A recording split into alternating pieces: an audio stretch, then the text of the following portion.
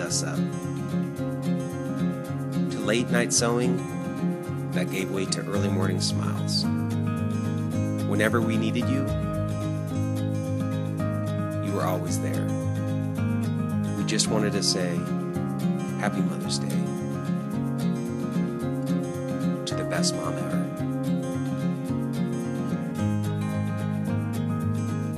Good morning. Happy Mother's Day. How you doing this morning? You doing all right? All right. Stand to your feet if you will and find somebody, find a mother or a lady and wish them a happy Mother's Day today and then we're just going to get right into giving him praise today in this house. Hallelujah.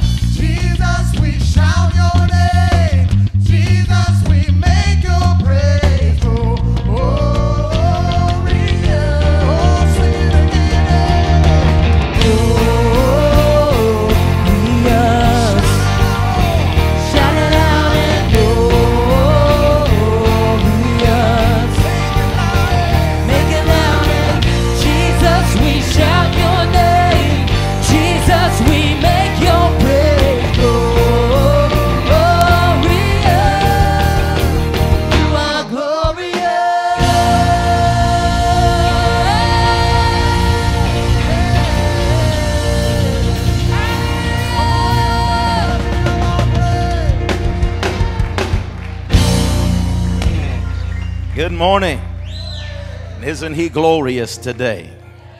I said, Isn't he glorious today? Amen. You may be seated today in the presence of the Lord. It's so good to have each of you here today on this Mother Day uh, that we celebrate those who are godly mothers that are training up the children in the way that they should go. And in a time and an hour whenever the uh, family unit is being attacked so drastically by the world system. We desperately need godly mothers and fathers in the house, training up children the way that they should go. Amen. Praise God. And we thank God for our mothers today, leading the way in that. Amen.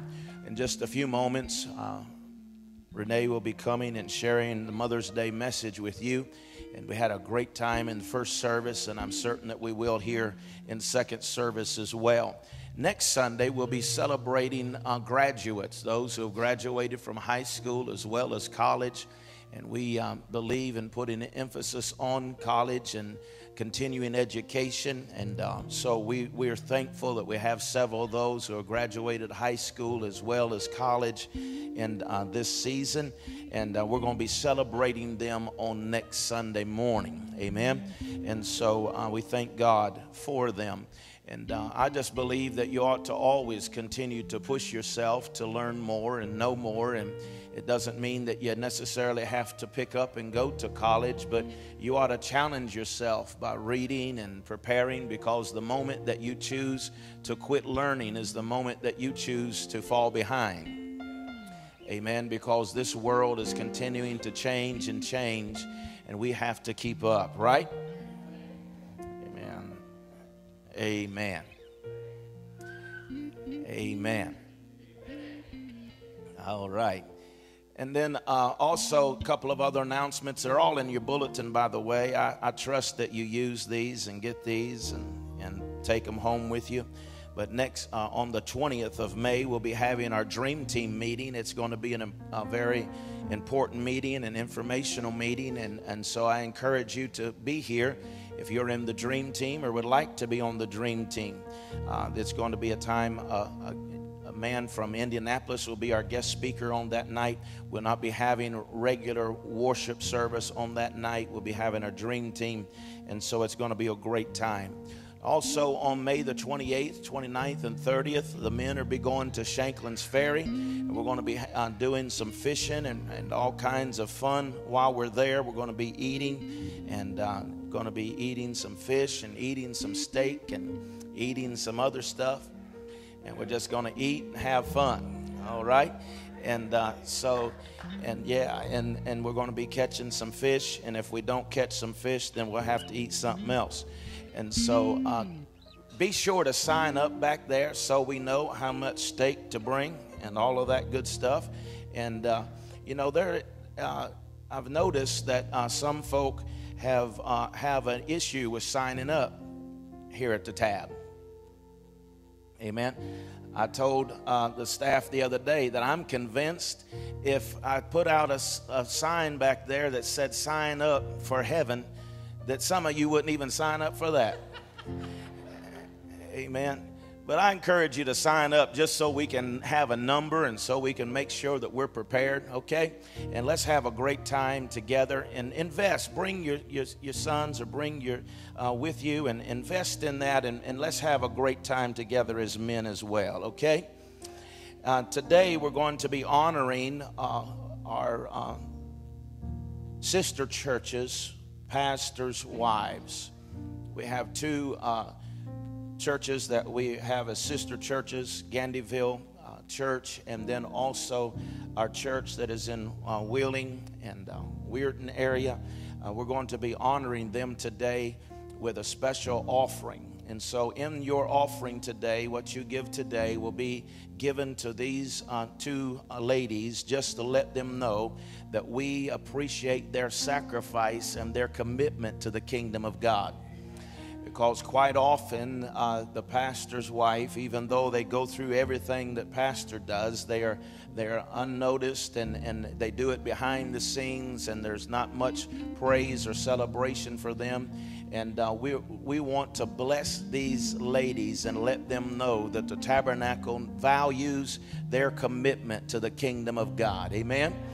And so uh, let's bless them today and just let them know that we appreciate their sacrifice and commitment. And uh, the church plant in uh, there in Wheeling or Weirton area, uh, they've literally given everything that they've have.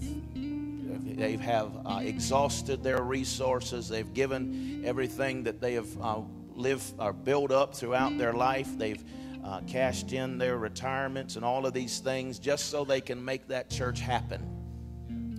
Amen. And I honor and respect people like that. That that says, and I wish that would not happen, right? I wish that would not happen. But for somebody to go to that extent tells me that they really believe in the kingdom of God. So we should pour back into them and bless them today. Amen. Praise God.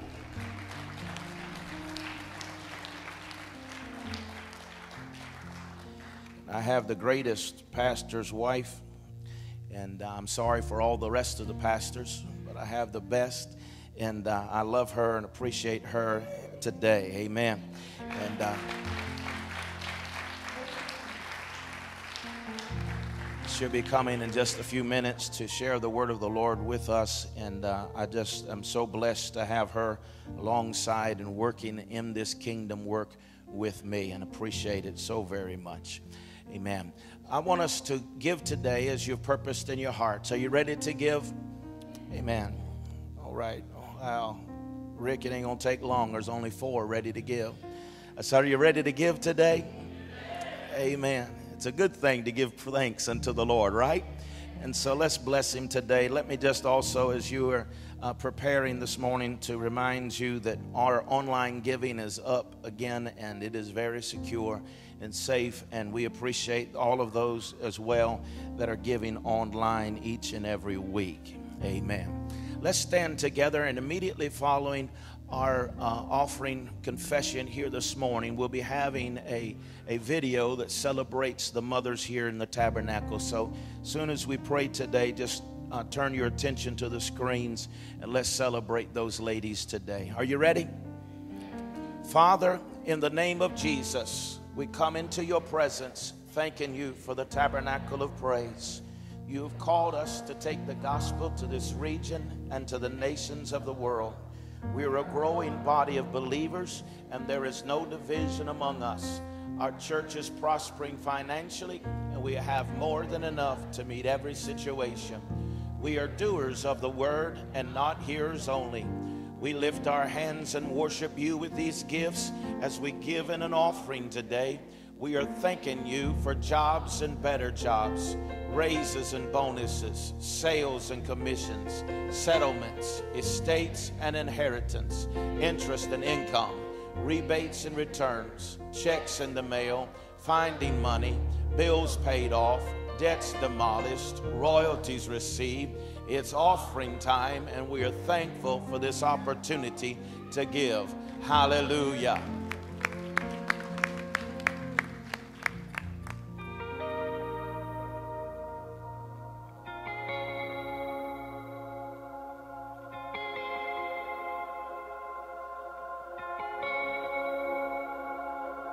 Days will come when you don't have the strength when all you hear is you're not worth anything. Wondering if you ever could be loved. And if they truly saw your heart, they'd see too much. You're beautiful. You're beautiful. You are made for so much more than all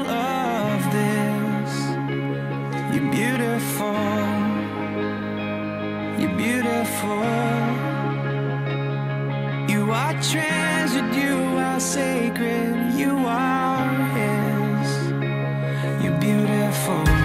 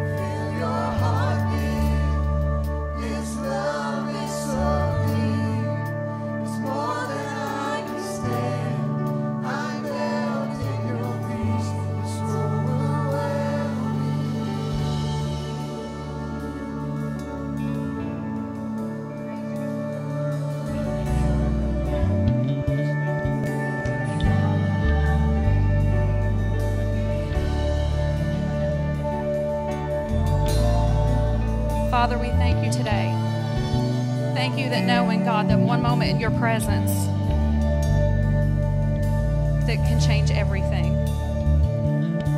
Thank you, Father, that your presence, we can find everything that we need. And then when we come out of your presence, God, that there's nothing missing and that there's nothing broken.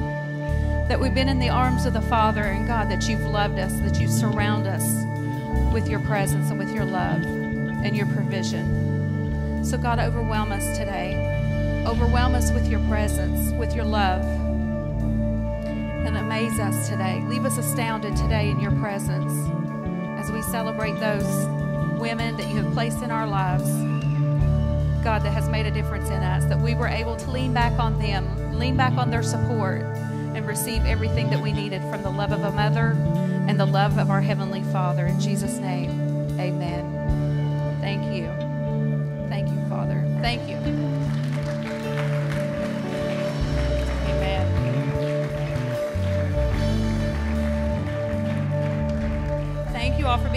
today's second service. Happy Mother's Day. We pray that with our worship today that we have somehow pleased the Heavenly Father. Amen.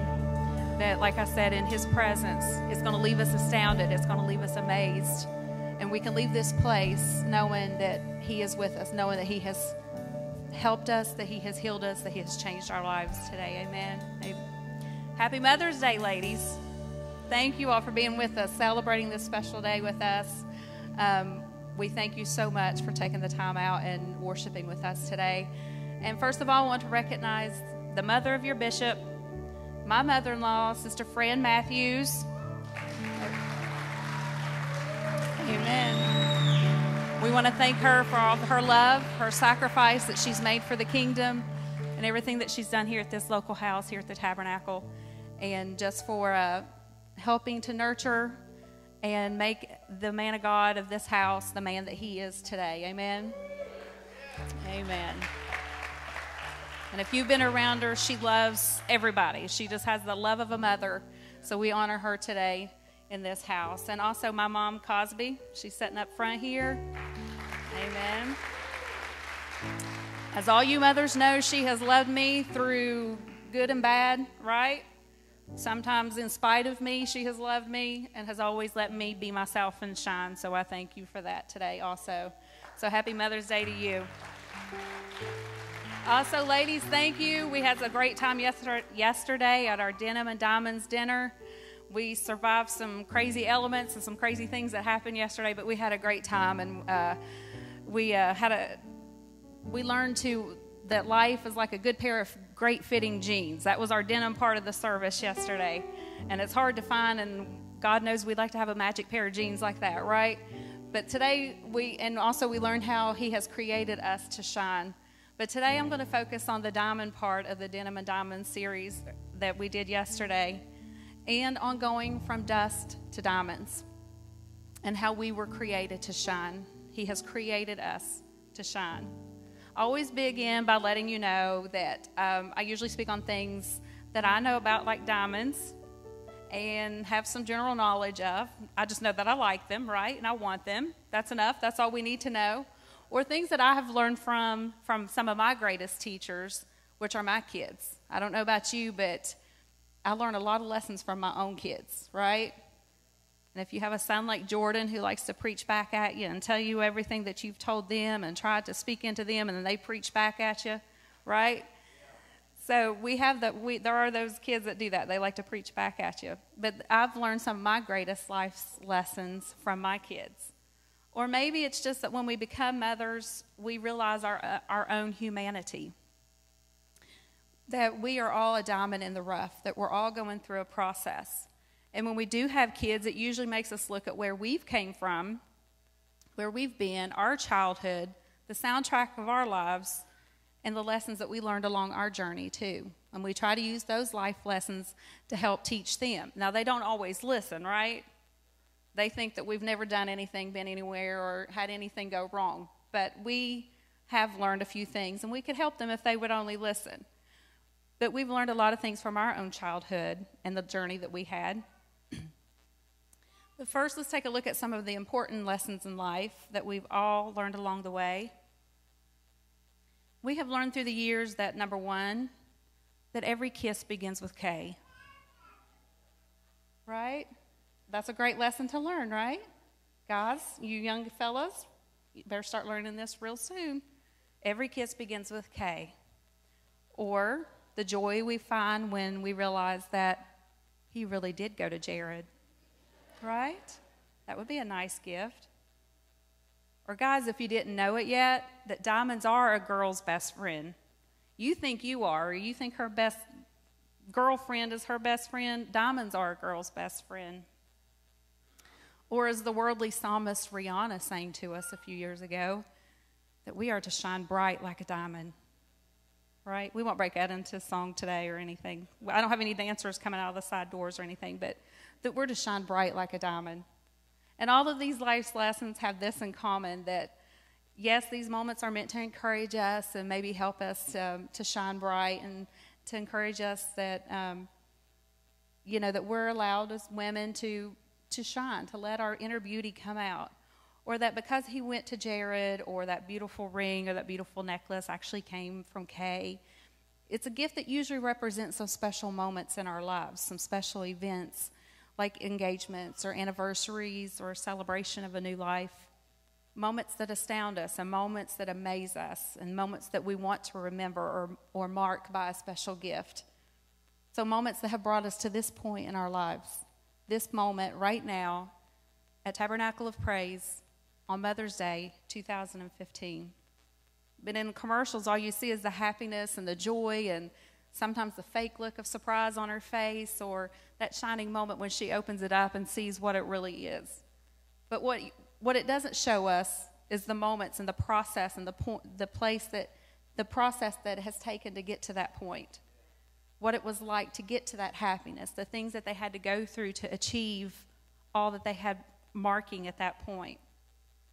And that's where our journey will begin today. We find that we want to get to that moment in our lives where our lives do shine bright, where we can make a difference, where we can become who God created us to be and do what He has created us to do, and that is to shine.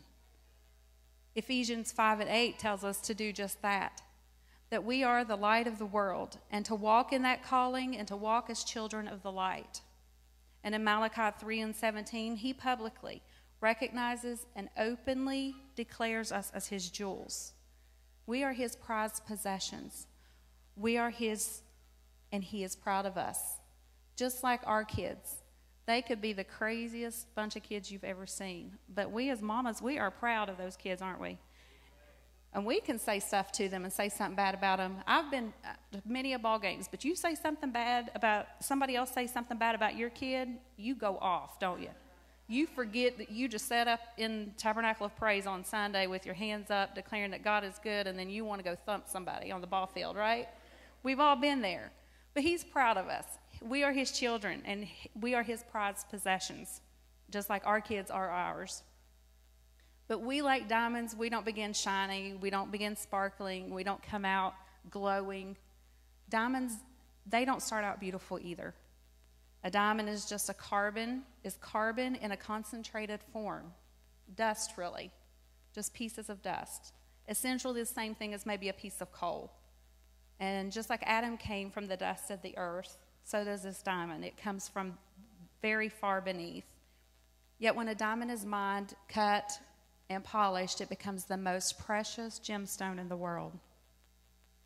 They are formed hundreds of miles beneath the Earth's surface, but when subjected to extreme pressure, to extreme temperatures, they are pushed to the surface. They are forced to the surface to become, to start the process of what they are meant to be. The conditions of this high pressure and temperature must be ideal for carbon to form a diamond but slightly less than this, and they end up, it just ends up to be graphite. It just ends up to be powder instead of that extremely hard, clear, beautiful crystal that we know as a diamond. It is the hardest known mineral to man. It is also so hard that it can only be scratched by another diamond. So I think that's a sign that we should at least, all of us should at least have own two diamonds, right? Just to test it out to make sure they're real. As we allow Christ to mold us, we will have his, his diamond hard strength to withstand the pressures of life and not be easily scratched, wounded, or scarred by the words or deeds of others. Amen? So, do we want to go through the process of becoming a diamond or settle for just being graphite, for just being dust, for just remaining underneath the surface and not coming to the fruit, full knowledge and come into the full ability that God has placed in us to be who He has created us to be? Once that diamond does come from the surface and before they can become beautiful jewels, they have to be cut and polished by hand or by a machine using steel or a diamond blade or a laser. It is then polished by a rotating wheel, coated with an abrasive diamond powder so it's sharp, it's messy, you get dirty. It's, it's, a, it's a long process that it goes through, and you have to be very meticulous so you, you can't chisel out the wrong end or the wrong side. So they're very hard. So it gets messy, just like our lives do sometimes. Sometimes it gets so messy that we think that nothing good can come out of it, right? But out of it, we can come out shining. We can come out as that beautiful diamond. And like that diamond, God's purpose is to refine us and to perfect us. Not to be perfect, not to be arrogant, but as long as we are trying, as long as we are making the effort, just like with our kids, when they're at school and if they're at least trying to study, if they're at least trying to hit that home run out of, you know, hit it out of the park, if they're at least trying, we're happy with that, right? If we know that they're trying their best. And God's the same way with us. He wants to perfect us. But as long as we're trying, He's happy with that. As long as we're trying to get closer to Him, as long as we're trying to do better, He's happy with that. And He's trying to perfect us in all things. A diamond's worth and beauty are judged according to the four C's cut, clarity, carat, and color. Now, the cut, the more we come under the sharp edge of God's word and allow it to shape us, the more valuable we will be for the kingdom. He desires for us to be transparent, for us to be flawless and true, right? We don't want to be the fake one. We want to be true. And we want, not that, like we said before, not to be perfect, but to be flawless, but, but to come into His presence with an open heart, to come into His presence with willing to do what it is that He's called us to do. So that was the cut. Now we look at clarity. Like flawless diamonds, we must reflect and disperse light because, like we said earlier, we are the light of the world. What would be the use of having that light in us having Jesus in us, having His presence in us, if we don't let it shine out of us to a dark world, right? There are people who need the light that is in you. So that use that gift that is in you to come out and shine so that others can know his love like you do. So we are the light of the world. Carat and color. God's diamonds will be judged not by the color or roughness of the exterior, but by the content and quality of the interior, the recepts of our heart. The intents of our heart is what's important, right? It's known by the character. We're known by our character. We're known by if we say we're going to do something, we do it, right? If we say we're going to be at the house of the Lord on Sunday, we're there. If we tell our kids we're going to take them here or take them there, we're going to do that, if, if all possible. So it's by the character, it's the intents of the heart. And this character is developed, not inherited, right? Aren't there things that uh, maybe kids get, your kids get from you that's inherited, but there's also things that they get from your character, right? Some of the, your little isms, the sisms, or some of your characteristics they get from you. They, it's learned traits, right? But some things are also inherited. It only comes through the refining process, and this process will shape us, it will refine us from being just a piece of dust to becoming that precious jewel. He tells us in Isaiah 43 and 4 You are precious in my eyes, and I love you. He loves us. I think it's such a simple phrase, and it's probably overused so many times. But just those three words, I love you, and that, that changes everything. Just to know the love of the Father will change everything. And thousands of years ago, David, he was astounded he was astonished and he marveled at this idea that God had set such a high price on the value of his people. So in Psalms, David wrote, What is man that you are mindful of him, and the Son of Man that you would visit him? For you have made him a little lower than the angels, and you have crowned him with glory and honor. He shared that glory and that honor with us. Just like we want to do that with our kids, right? We always want maybe for them to go the next step or go a little bit further than what we did. We want them to receive the glory and honor that we have. And so many times people are proud of their last name. The last name, you know, the, or the, the first name that you give a kid is to mean something. It's to share your glory and your honor with your kids, just like the Heavenly Father loves us enough to do that. That He placed us and put such value on our lives, and we are valuable to Him. Then in Proverbs 3 and 10, He tells us how valuable His daughters are, His jewels are to Him. He says, A capable, intelligent, and virtuous woman, who can find her? She is far more precious than jewels, and her value is far above rubies or pearls. Now, we as women, we can appreciate a fine piece of jewelry, right? We would like to have a fine piece of jewelry, so there's still time. That's Mother's Day isn't over yet, guys. So, especially today being Mother's Day, let's try to make that happen, right? And to be compared as jewels, such as rubies or pearls, that, that's quite a compliment. Now, this is how your pastor tried to um, encourage me to marry him 25 years ago, and he's shared this on, on a few occasions. He always told me, and he thought this was always going to, like, you know, make me just jump on the bandwagon and run right up the aisle and get married. But he would say, Now, if you stick with me, one day you'll be wearing generic rubies. I'm like, wow, that's an offer I can't refuse, right? That's one way to get a woman, guys. So, what an offer that was. It, it worked because we've been together 25 years, but finally, 10 years after that, approximately 10 years after that, for Christmas, he actually bought me a ruby ring and a ruby bracelet. So, he made good on his offer. Now, to this day, I'm not sure if it's generic or real. I've never had it tested, which, you know, I might need to do that at some point but he made good on his offer, and I guess that's important. It goes back to the character thing of the diamond, right? Yeah. So there are many generic and there are counterfeit diamonds out there.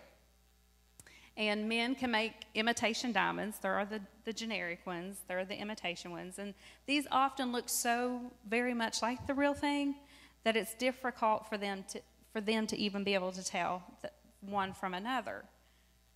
And then God sometimes makes stones that appear like diamonds that one can't tell the difference between them. I mean, we have fake diamonds, um, we have all that, and then what, back the 1800s, they'd run to California looking for gold, thinking it was the real stuff, and it ended up being fool's gold, right? So there's always a counterfeit for the original, there's always a generic for the real thing, right? So sometimes even even the merchants who buying and selling these jewels, these diamonds, they sometimes can't even tell that they're fake. Uh, a real diamond, like we said before, can't be scratched by anything else but another diamond. Another way is by putting it beside um, a true diamond and comparing them and to get, but yet it still takes a trained eye to do that. And if you put them in water, the real one or the fake one, the diamond will still look bright and shiny the counterfeit one, instead of shining, it will look dark and dull. Kind of like our lives sometimes, right? Put a little bit of water, a little bit of affliction, a little bit of issues on us, and we start getting a little fadey and fading and get a little blurry. But His light will shine through us if we will just remain in His presence and let Him astound us, right? Now, I don't know about you, but I don't want any of the fake stuff. Now, I know it's fun, like this and you know like this to kind of dress up in costume jewelry and all that stuff but when it's a, one of those moments that you want to remember one of those moments that you want to mark in your life. You don't want to be buying the fake stuff. You don't want him bringing you home the fake stuff and just sticking it in a Jared or a Kay bag right you want the real thing. You don't want anything that's going to fall off or the setting falls off while you're eating dinner you know your diamond falls out in your food while you're eating. You don't want that. Or when you're like walking down the street and you think you're looking good. And what you don't realize, you've been sweating like we were at the ladies' banquet yesterday, and it turns green all the way around your neck, right? No fake stuff. If we want this to be like legitimate, good, you know, moments to remember, you don't want the green fake stuff wrapped around your neck, and you don't want your stones falling out of the settings and all that. No cubic zirconia for me. I want the real stuff.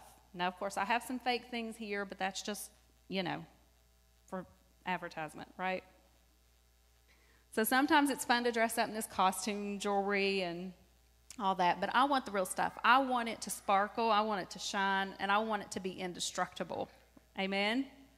And that's where the word diamond comes from. It comes from the Greek word, Greek word adamas, which means indestructible. Romans 8 and 38 reiterates the fact that God's love for us is indestructible. It never ends and it cannot be broken. He says, For I am persuaded that neither life, nor death, nor angels, nor principalities, nor powers, nor things present or things to come, nor height or depth, nor any cre- creature shall be able to separate us from the love of God, which is in Christ Jesus. Now, sometimes we do things that maybe try to separate us from His love, right? But there's nothing that we do that, that would separate His love for us. Nothing that we can do. So we, like that diamond, can be indestructible. We can be real and not fake. And if we're persuaded, if we make up our minds, if we settle it in our hearts that nothing, that no one, no circumstance, not your past, not your present, nothing can change the fact that He loves you. Right here, right now, where you are. His love, like that diamond, is indestructible, but it is lo- His love is also unconditional, right? There's nothing that our kids could do that cause us to not love them, right? Nothing that they can do that would cause us to turn them away. And that's the way the love of the Father is. It's indestructible and it's unconditional.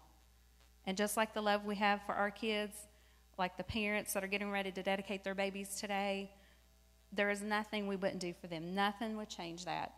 And the same is true for Him. He loves us so much and places so much value on us that it cost Him dearly to buy our redemption, right? We just celebrated that in our Easter series, all the sacrifices that He made. And I know many mothers are in here, and you make sacrifices daily for your children. But that was the ultimate sacrifice, wasn't it? Wasn't it? It was the ultimate price to be paid. The purchase price was His Son, Jesus. And if God places such a high value on us, we should realize and believe that He is who He says He is, and we are who He says we are.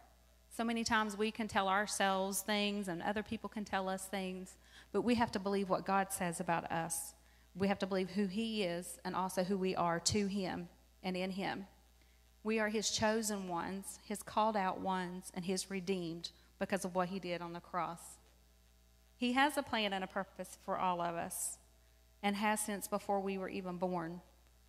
And in Philippians, he informs us For I know the plans I have for you, declares the Lord plans to prosper you and not to harm you, plans to give you hope and a future. So we were created to prosper and shine. I always tell people when I pray with them, you know, God, He does. He wants to provide. He is our provider. He wants to give you the things that you need. But we, like the Heavenly Father, and we as mothers and as fathers on the earth, earthly fathers, we want to not just give them the things that they need, but we will move heaven and earth to get them what they want, right? Their desires of their heart. And God's like that too. He wants to give us the desires of our heart. He, every good and perfect thing comes from Him. So we were created to not just live this life, but to prosper in this life and to shine. And we quote that, we quote that scripture so many times in instances like this when we're getting ready to do baby dedication or graduations like next week and those moments that we talked about at the beginning of the service and that we sang about about being astounded and being amazed those moments in our lives. So as pastor jamie comes and the worship team comes let me leave you with this. The process of going from dust to diamonds it can be costly. Like we talked about before too it can also be dusty. It can also be time consuming it can also mean giving up one thing for another. And it can be expensive. Diamonds can be expensive, right? Judging on the size, like we talked about the cut, the size, the clarity, all that, depending on the quality of it too, it can be very expensive. But you are valuable to Him. Your value is much more than any diamond on this earth that could ever be produced or be brought to the surface through the process.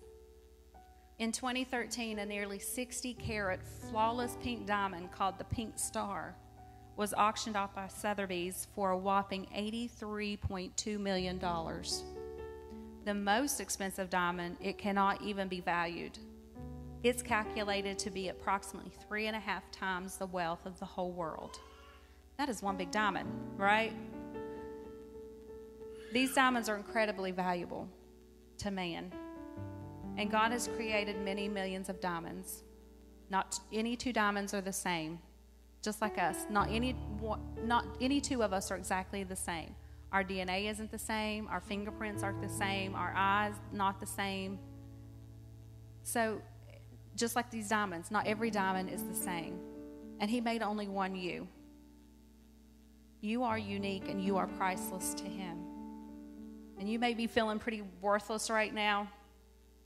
And the process of the, the process of this thing we call life, it has brought you to this point where you're not sure who you are, what you what you are to him, what you are in this world, what you are meant to do. You don't even feel as much as a rhinestone, let alone a diamond. Right? We've all been there. But remember you are precious to him. So let him invade your life.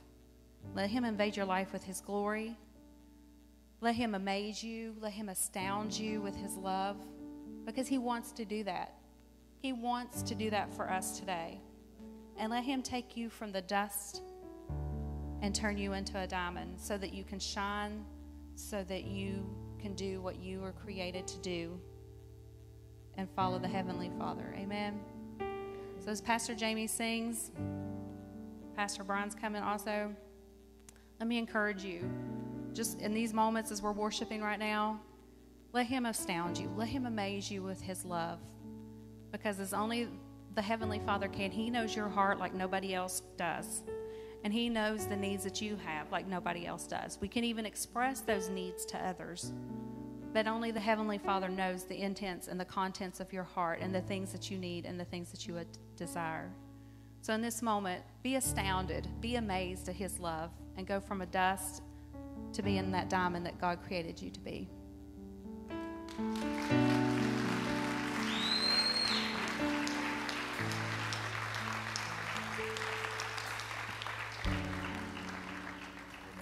Stand with us today, please. You have great value, you have great worth. As Renee has said, at times in our life, it doesn't take much in this world to bring us down, to feel inadequate, insufficient, less than. But God sees beyond the mess, He sees beyond the grind, and He sees our hearts. And today, if you're in the middle of a mess, don't give up. Keep pressing through because God's got something of great value in mind for you. If you're here today and you haven't accepted Christ as your personal Savior, what a greater day than today to just go all in for God. Give Him your whole heart, give Him your whole life. Say, I'm going to be all, do all, and accomplish all that He has purposed for me to do. As Jamie sings this morning, if you would like special prayer, if you would like to accept Christ, if you are in the middle of the mess, you would just like for us to join in prayer with you today, I want you to come and allow the Spirit of God to minister to you on this morning.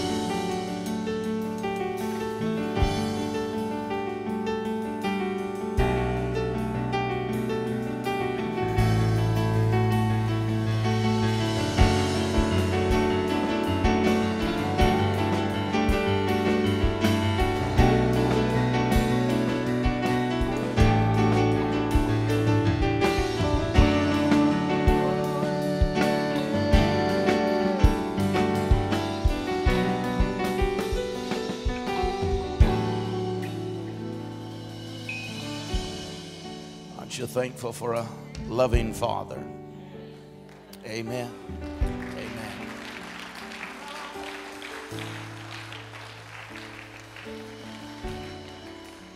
And that he put that love into mothers so that they could love us in spite of ourselves.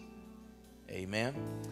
Praise God. You may be seated for just a moment. I want to ask those who are getting ready, are prepared to uh, dedicate their babies to the Lord, uh, to come at this time. Just come to the stage.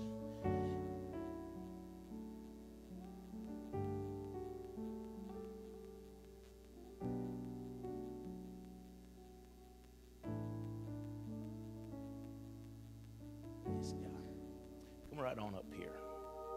Yeah, we'll show them off real nice.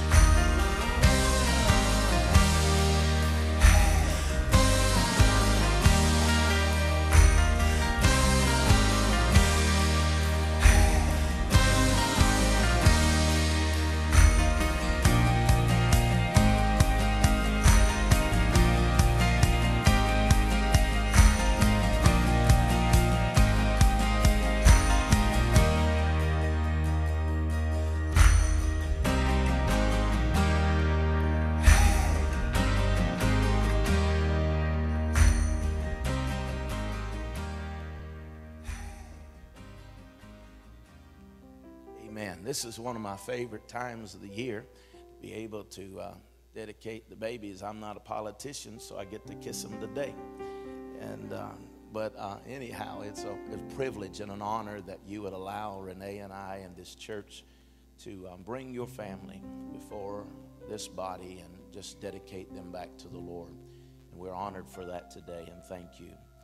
I just want to make a couple of uh, acknowledgments or today. Baby's uh, dedication started, as you all know, I'm certain, that with Hannah. Hannah was a Jewish lady that desired a child and she was unable to conceive and she prayed this prayer here in 1 Samuel chapter 1 she prayed in the for the Lord a child and the Lord granted me what I asked him so now I have give him to the Lord for this for his whole life. And he will be given over to the Lord and he worshiped the Lord there. Amen? And so in this one scripture, it gives us a, a picture of his whole life because she prayed, she received, but then it tells us he worshiped the Lord where that he was dedicated back to the Lord. Even Mary had a moment where that the Bible says there in Luke chapter 2 and verse 22 that Mary took Jesus back to the temple to be dedicated to the Lord.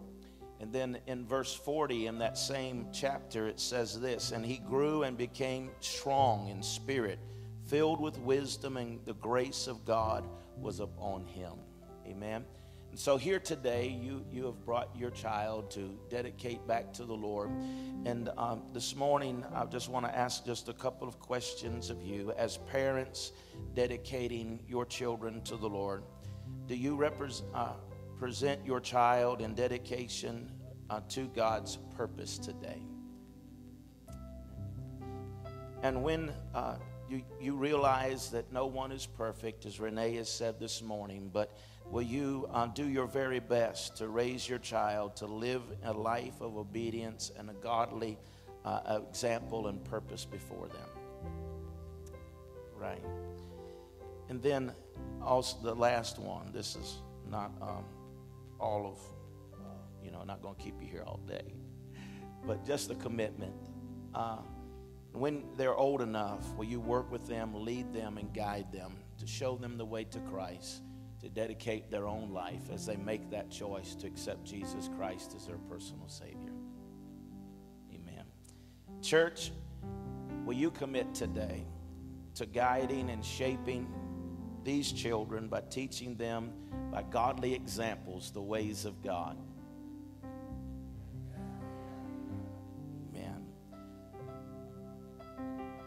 Mark chapter 10 and verse 16, it said, Let the little children come to me and do not forbid them. And he took them in his arms and he laid in his hands on them and he blessed them. So today, I want to do just that. The church, if you will stand with me today, I want us to pray together as we bless these children, but not only bless them, but their families together this morning. Amen.